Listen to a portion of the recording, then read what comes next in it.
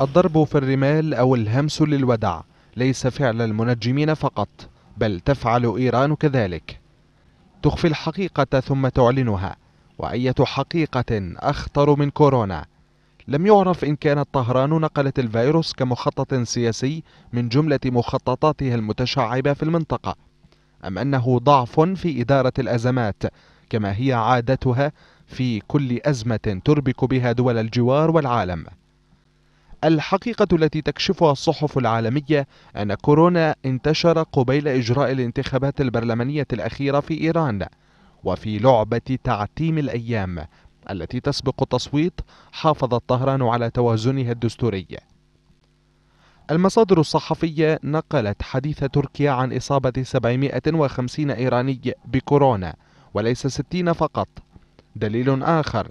يثبت صحة اللعبة الإيرانية يتمثل باعتراف صريح بإصابة نائب وزير الصحة الإيراني بالفيروس ناهيك عن إصابات لمسؤولين لم تظهر للعلن بعد.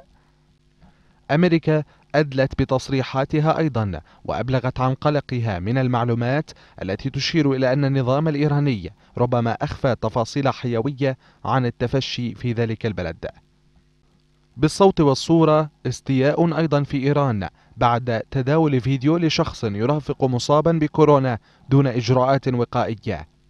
العراق المتضرر الأكثر من السياسة الإيرانية لم يسلم من كورونا بأنفاس إيرانية والعراق لا يقوى على مصيبة جديدة غير أن المشهد يقرأ بلسان العراقي الشاكي والمناشد نتيجة عدم اكتراث طهران لما يحدث من أمر جلل.